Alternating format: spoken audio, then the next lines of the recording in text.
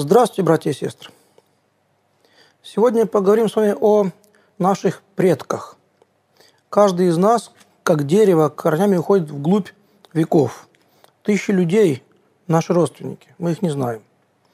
Э, но то, что мы их не знаем, не значит, что их нет.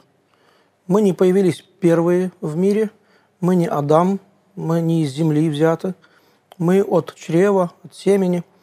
Э, и там за спиной у нас э, есть множество людей, которых мы не видали, но которые есть, которые ушли из этого мира, но они живы по-своему в этом царстве живых, за гробом. И вот об этом стоит вспоминать и думать. Связь с ними, она очень важна для человека. Евангелие от э, Матфея начинается родословием Христа, где говорится о книге родства Иисуса, сына Давидова, сына Авраамова, и перечисляется долгий перечень имен – кто кого родил. Значит, э, по сути, вся история Старого Завета перечисляется в именах. Э, кто читает эти слова и не знает истории Старого Завета, значит, тот читает китайскую грамоту. А кто знает историю, тот читает с интересом, потому что за каждым именем есть целая книга, целая жизнь, и она известна читающим. Так вот, не зря эта книга открывает Евангелие, родословие, Христа и его э, связь с поколениями, бывшими прежде него. Человеку очень важно знать, что он не один в мире, что не только здесь, на земле, вокруг него есть друзья, знакомые, родственники, но что он также опирается плечами на огромное количество ушедших из этого мира, но живущих людей, э, настоящих людей, не исчезнувших никуда, а реальных личностей, которые оставили свой след в истории. Однажды э, был такой мне разговор с одной женщиной, психологом, которая весьма меня повеселила, мою душу порадовала э, таким тестом. Она говорит, что у них был такой тест следующий. Значит, люди э, собираются в группу, скажем, человек 20. И говорится так, значит, вот выбирают одного, ну, скажем, вы, мужчина. Выбирайте себе из группы человека, который похож на вашего отца – или вам симпатичен как бы в том смысле, что вы бы хотели, чтобы таким был ваш отец. И также мать. То есть или похожую, или вы бы хотели, чтобы мать была така, такая. Человек выбирает себе отца и мать, якобы. Теперь выбираете отца и мать для отца, то есть деда и бабушку для отца, и отца и мать для матери, то есть деда и бабушку для матери. То есть по симпатиям или уже как получится. Выбираете. Теперь выбирайте для каждого из них отца и мать, отца и мать, опять-таки отца и мать, отца и мать. Такое дерево разветвляется. Выбрали. Вот получилось такое звено такое. Вот 2, тут, значит, 4, значит, 2, 2, 4, там 8. Дерево такое. Значит. И вот теперь вы оборачиваетесь к ним спиной, а они упираются в плечи вам. То есть прадеды дедам, деды отцам, отцы в тебя. И ты потом падаешь на их руки. Человек вес тела перемещает на пятки и не стоит сам, а опускает вес своего тела на руки того, кто держит его. А его держит как бы мнимый отец, мнимая мать. А их деды и бабушки, там, прадеды, прабабушки. Вот так он висит на их руках. И так продолжается, скажем, там, минуту, может быть, там, полторы, там, меньше, больше. Потом они его ставят на место. И у людей расширяются глаза. Люди вдруг понимают, что вот оно. То есть меня держат поколения ушедших из жизни людей. Я не сам в мире. Откуда я взялся? Были отцы и матери, у них отцы и матери, были у них отцы и матери. Это все глубоко ушло далеко-далеко-далеко. И они все есть. И я есть благодаря им. Они могли быть грешниками, там, беззаконниками, там, лентяями, преступниками. Наоборот, может быть, трудолюбцы, э, милостивые, э, щедрые, целомудренные, терпеливые, храбрые, или трусы, лентяи, жадины, ну, кто хочешь. Эта смесь меня родила, и я опираюсь на них.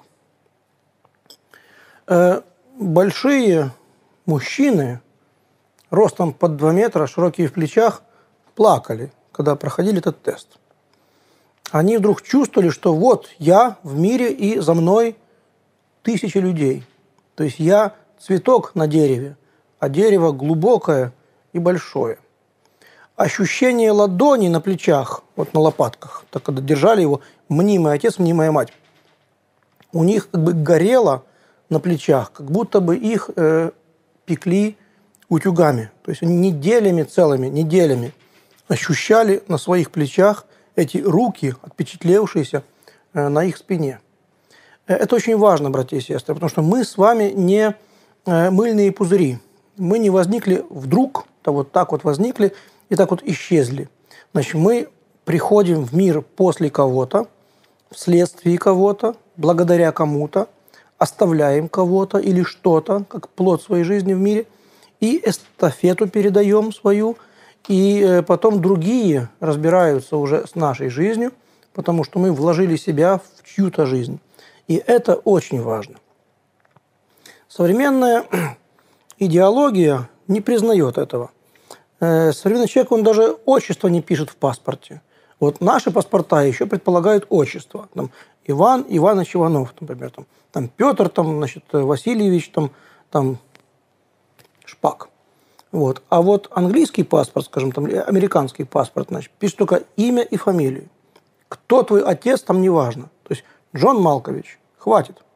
То есть Джон Джонович, там, никому не нужен там, кто твой отец, там, Джон там он был, там, или трижды Джон, неважно. Важно, что есть ты, есть твоя фамилия, как бы идентификация такая твоя. Вот, и все. А нам важно, до сих пор нам еще важно, кто твой отец. И кто отец твоего отца. И кто отец отца твоего отца.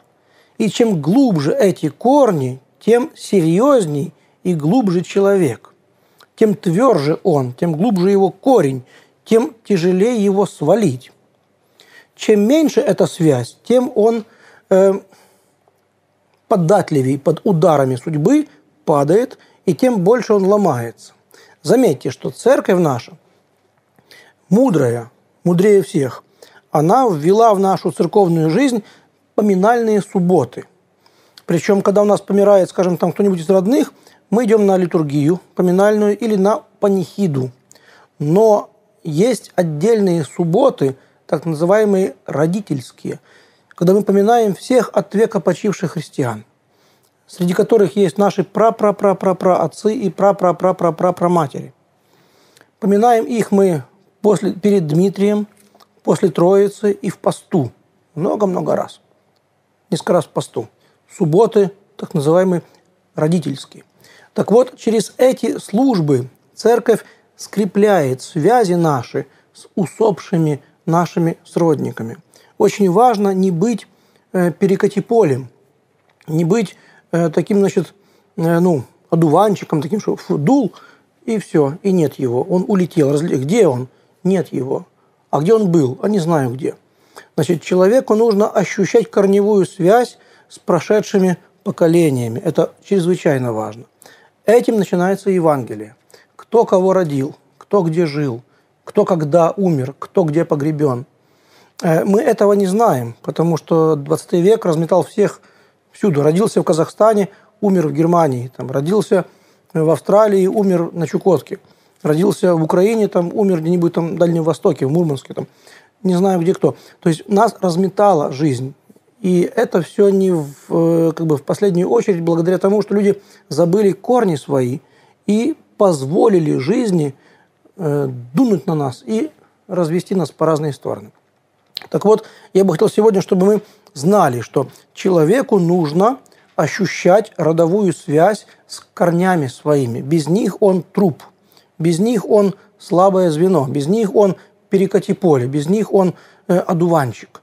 А с ними он силен, как Антей, античный такой значит, герой, такой значит, богатырь, который пальчиком касался земли и был непобедим.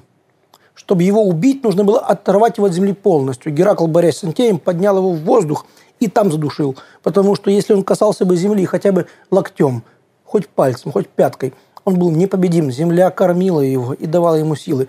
И мы также, оторваны от земли, погибаем. Касаясь земли, живем.